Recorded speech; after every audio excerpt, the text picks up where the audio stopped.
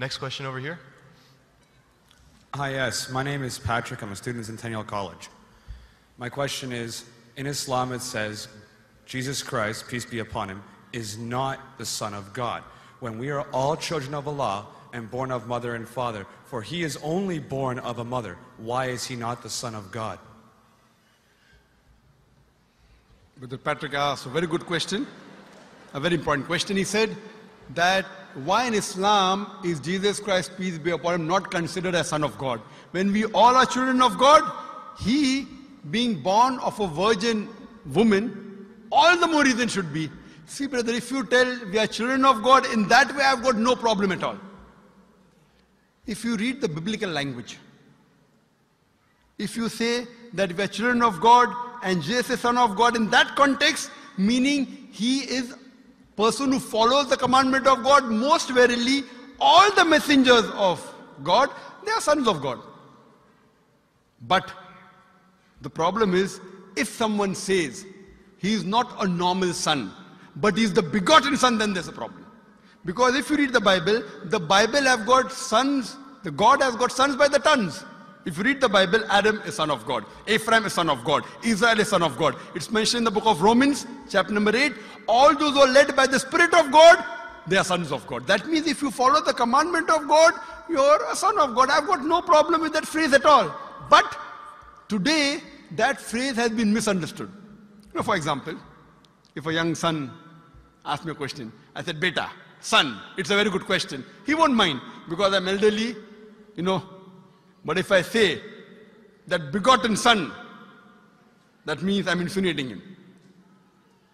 You know, maybe he'll punch me. Fine? So what do you realize? That using the phrase son of God, in the context that we are children of God, we have no problem.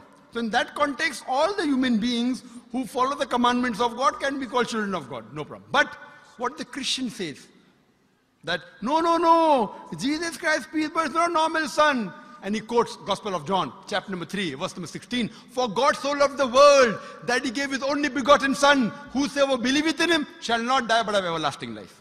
Correct, brother? So do you believe Jesus is the begotten son of God? I do. You believe, fine. Now this verse which I quoted, Gospel of John, chapter number 3, verse number 16, it's from King James Version. For God so loved the world that he gave his only begotten Son. Whosoever believeth in him shall not die but have everlasting life. Now, when you read the Revised Standard Version of the Bible, revised by Thaidu scholars, Christian scholars of the highest eminence, backed by 50 different cooperating Christian denominations, they say that this word begotten is an interpolation, it's a fabrication, it's a concoction, it's an adulteration. Who's saying? Not Muslims, not Hindus, 32 Christian scholars of the highest eminence in the revised standard version of the Bible, they say begotten is an interpolation. It's a fabrication, it's a concoction, and they're thrown out of the Bible. So if you say Jesus is son of God, like Adam, like Ephraim, like Israel, I have no problem. The moment you say begotten, I want to ask you the question, what is the meaning of begotten? Brother, what is the meaning of begotten? You know, begetting is an animal act. It's the function of lower animals of sex. And when you say that he was born to Mother Mary, virgin, what are you insinuating? And if you say, because Jesus Christ, peace be upon him, is God or Son of God, because he was born to Mother Mary, Quran gives the reply in Surah Imran, chapter number 3, verse number 59. Inna masala Isa in the Allahi ka masala Adam. Khalaqa min turab summa qala yakun fayakun. That when they say the similitude of Jesus in front of Allah is the same as Adam.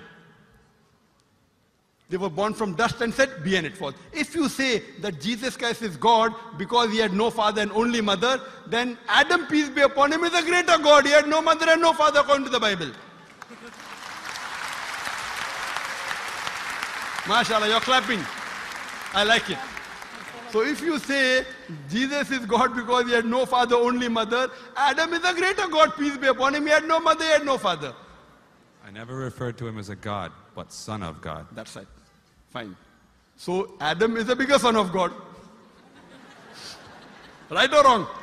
By your definition, Adam would be a god, for he has no mother nor no father. Not my definition, not my definition. By the definition of the Christian missionaries.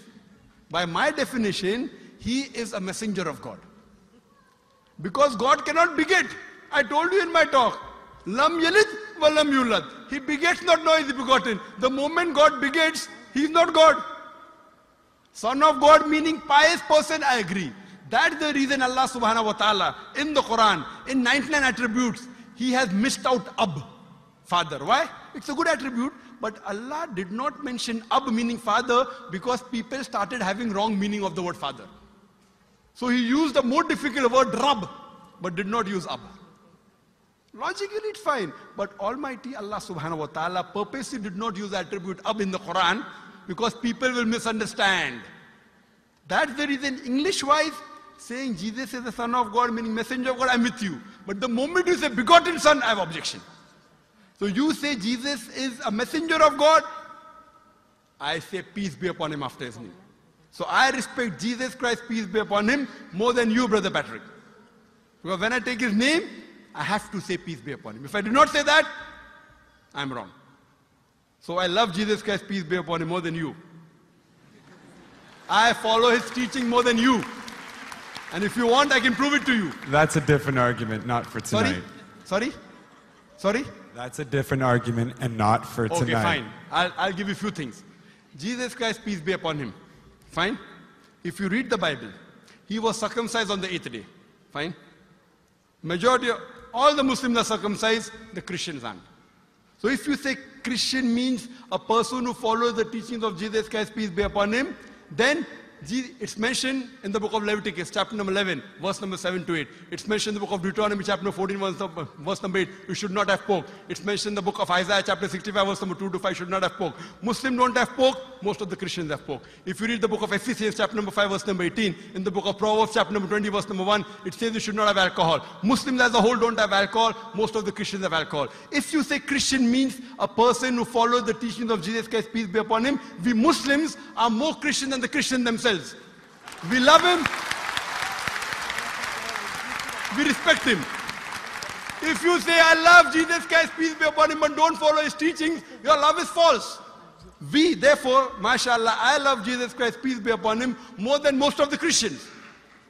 Because I follow his teachings, I respect him, I revere him. And Jesus Christ also said in the Gospel of John, chapter number 16, verse number 11 to 14, I have many things to say unto you, but ye cannot bear them now. For he, when the Spirit of truth shall come, he shall guide you unto all truth. He was talking about Prophet Muhammad to come.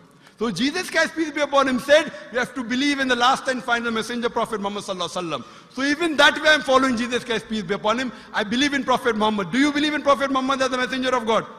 I do. MashaAllah. Now you're more closer to.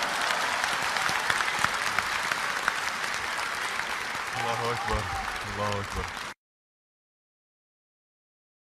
subhanahu wa ta'ala. Now he wants to say the shahada, and then we will move on and say ashhadu an